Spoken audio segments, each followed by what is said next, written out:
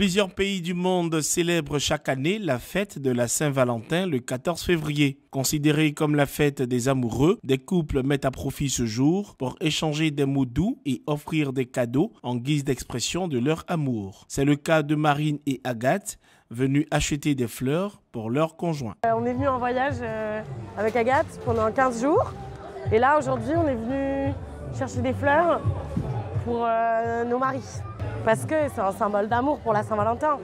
Les fleurs, c'est ce truc euh, qui est éternel, qui est beau et qui à la fois est éphémère. Et donc euh, il, faut il, faut en prendre soin, il faut euh, le chérir pour que ça perdure.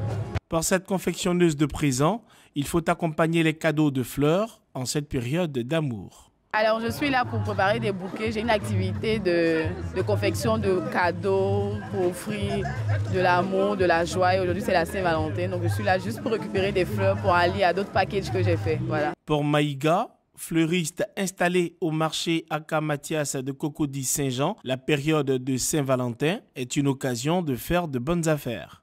On n'arrive pas à retenir maintenant le nombre de bouquets vendus. Parce qu'on ne tient pas compte de ça.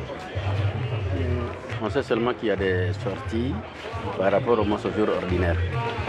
Mais pour dire que bon, les bouquets, on a fait, il y a un tel nombre qui était vendu, on ne fait pas attention à ça. Donc je veux dire alors que c'est un peu mieux par rapport au mois au jour ordinaire, ça y est un changement un peu. Avec lui, une fleur coûte au moins 2000 francs CFA et 58% des bouquets offerts sont des ronds.